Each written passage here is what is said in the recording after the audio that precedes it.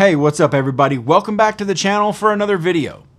So today we're diving into a topic that's close to my heart, photography and mental health. Because life can be a roller coaster and sometimes we all need a little escape. And our cameras just might be the ticket to finding solace. So grab yourself a coffee, hit the like button, subscribe if you haven't already, I'll roll the intro and we'll jump in.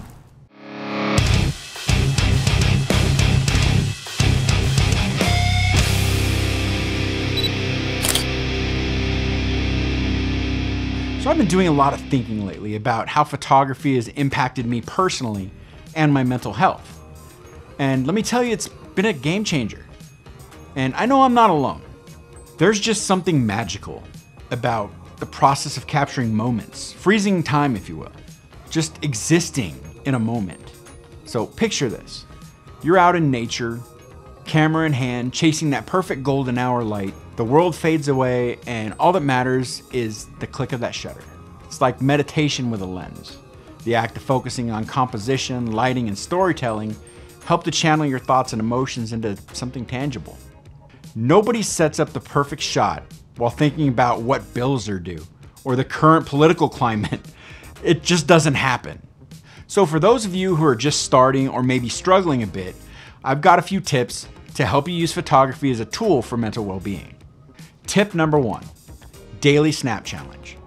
Challenge yourself to capture one photo every day. Could be anything, could be a sunrise, a coffee cup, your pet, just something that makes you smile. It's a simple yet effective way to stay connected with your camera and the world around you. Tip number two create a photo journal. Start a photo journal where you document your thoughts and your feelings alongside your images. It's a beautiful way to reflect your journey and see how your photography evolves with your emotions. Tip 3 Connect with others.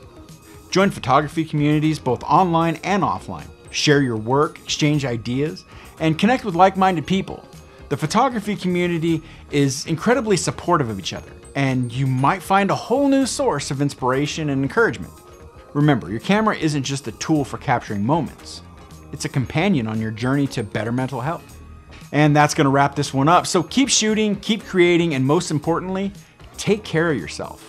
If you enjoyed this video, give it a thumbs up, subscribe if you haven't already, and share it with someone who needs a little photographic therapy.